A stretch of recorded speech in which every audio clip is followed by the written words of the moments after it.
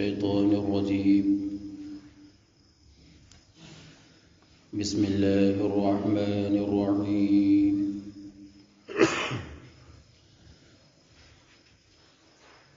والذاريات ذروا فالحاملات بقرا فالجاريات يسرا فالمقسمات أمرا. إنما توعدون لصادق. وإن الدين لواقع والسماء ذات الحبك. إنكم لفي قول مختلف. يؤفك عنه من أفك. قتل الخراصون الذين هم في غمرة ساهون. يسألون أيان يوم الدين. يوم هم على النار يفتنون. ذوقوا فتنتكم هذا الذي كنتم به تستعجلون. سورہ زاریات مکہ میں نازل ہوئی۔ اس میں ساٹھ آیتیں ہیں اور تین رکو شروع اللہ کے نام سے جو بہت مہربان نہایت رحم والا ہے۔ قسم ان ہواؤں کی جو بکھیرتی ہیں، اڑا کر۔ پھر اٹھانے والیاں، بوجھ کو، اور پھر نرمی کے ساتھ چلنے والی، پھر بانٹنے والی حکم سے۔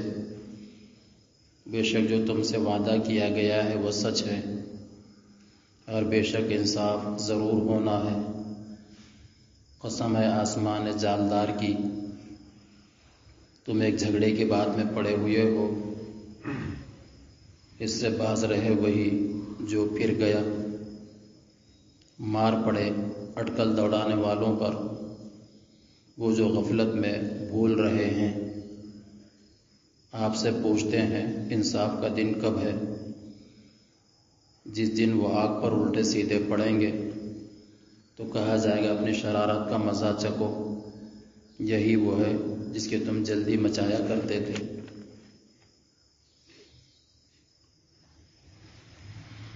اول زور کی ہوائیں اور آندھیاں چلتی ہیں۔ جن سے غبار وغیرہ اڑتا ہے اور بادل بنتے ہیں، پھر ان میں پانی بنتا ہے، اس بوجھ کو اٹھائے پھرتی ہیں۔ پھر برسنے کے قریب نرم ہوا چلتی ہے۔ پھر اللہ کے حکم کے موافق بارش میں جس جگہ کا جتنا حصہ ہوتا ہے، وہ تقسیم کرتے ہیں۔ ان ہواؤں کی اللہ قسم کھاتے ہیں۔ بعض علماء نے زاریات سے ہوائیں حاملات سے بادل جاریات سے ستارے اور مقسمات سے فرشتے مراد لیے ہیں۔ گویا مقسم بھی کی ترتیب نیچے سے اوپر کو ہوئی۔ اور حضرت علی رضی اللہ تعالیٰ عنہ وغیرہ سے منقول ہے کہ زاریات ہوائیں، حاملات بادل، جاریات کشتیاں اور مقسمات فرشتے ہیں جو اللہ کے حکم سے رزق وغیرہ تقسیم کرتے ہیں۔ یہ ہواؤں اور بارش وغیرہ کا نظام شاہد ہے کہ آخرت کا وعدہ سچا اور انصاف ہونا ضروری ہے۔ جب اس دنیا میں ہوا تک بے نتیجہ نہیں چلتی، کیا اتنا بڑا کارخانہ یوں ہی بے نتیجہ چل رہا ہوگا؟ یقیناً اس کا کوئی عظیم الشان انجام ہوگا۔ اسی کو آخرت کہتے ہیں۔ یعنی صاف و شفاف، خوبصورت، مضبوط، پر رونق آسمان کے قسم، جس پر ستاروں کا جال بچھا ہوا معلوم ہوتا ہے اور جس پر ستاروں کی اور فرشتوں کے راہیں پڑی ہوئی ہیں۔ قیامت اور آخرت کے بعد میں خامہ کا جھگڑا ڈال رکھے ہیں۔ اس کو وہی تسلیم کرے گا جسے بارگاہ ربویت سے کچھ تعلق ہو، جو شخص راندہ درگاہ ہے اور خیر و سعادت کے راستوں سے پھیر دیا گیا ہے۔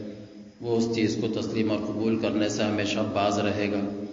حالانکہ اگر صرف آسمان کے نظم و نسق میں غور کرے تو یقین ہو جائے گا کہ اس مسئلے میں جھگڑنا محض حماقت ہے۔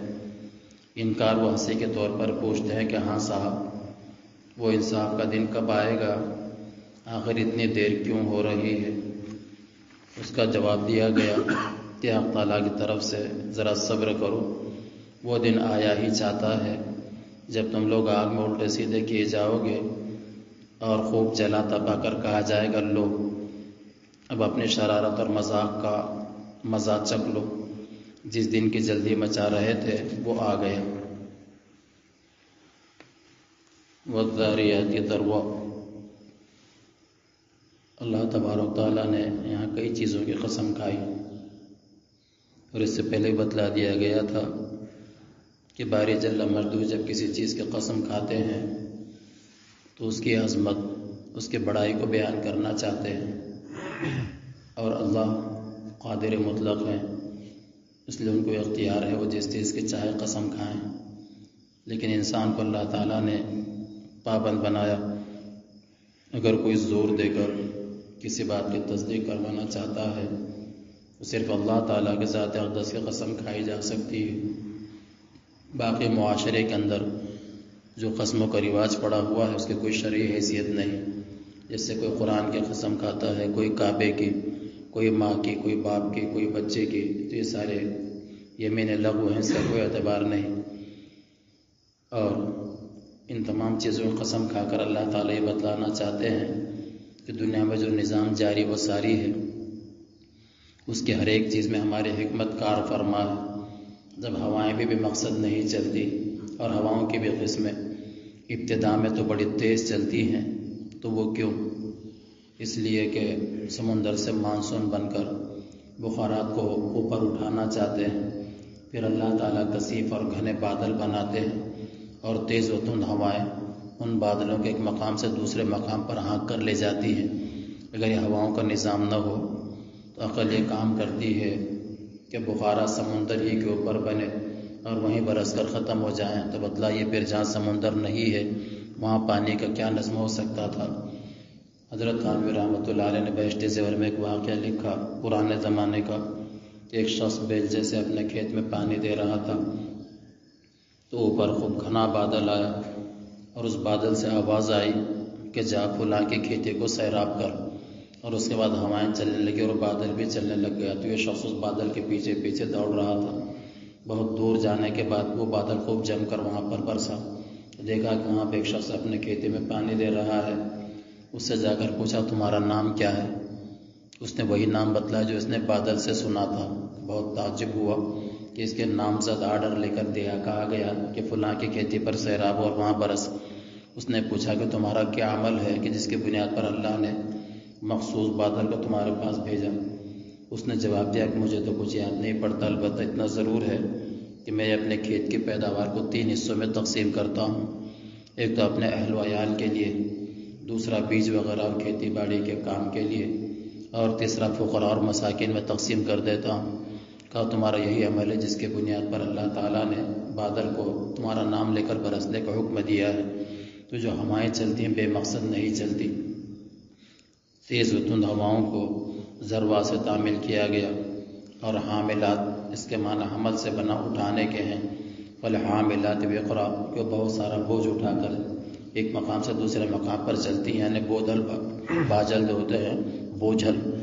آپ نے کہیں سنا ہوگا یا پڑھا ہوگا کہ بادل پھٹ گیا اور اتنے لوگ مر گئے، کیونکہ اچانک اس میں سے جو بے انتہا پانی نکلا، وہ بہت زیادہ بوجھل اور وزنی ہوتا ہے۔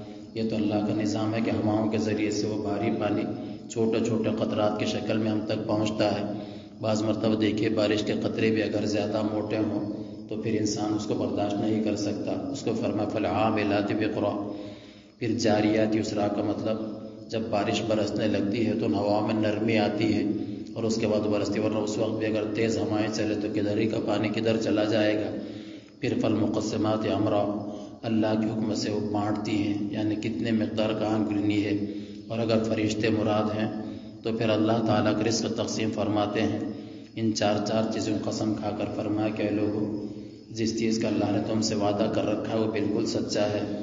یعنی انصاف کا دن، قیامت، آخرت۔ ان الدین الواقع بے شک انصاف ضرور واقع ہونے ہی والا ہے۔ ساری دنیا کی طاقت مل کر اس قیامت و انصاف کو روک نہیں سکتی۔ پھر اللہ تعالیٰ نے جالدار آسمان کی قسم کھائی، جالدار سے مراد۔ آپ رات میں دیکھیے، ستارے آسمان کے اوپر ایسے چمکتے جیسے کوئی معلوم ہوتا ہے خوبصورت جال بچھایا گیا ہو۔ ان لفی قول مختلف نادانو تم تو الگ عجیب عجیب باتوں میں الجھے پڑے ہوئے ہو۔ اور وہ عجیب بات کیا؟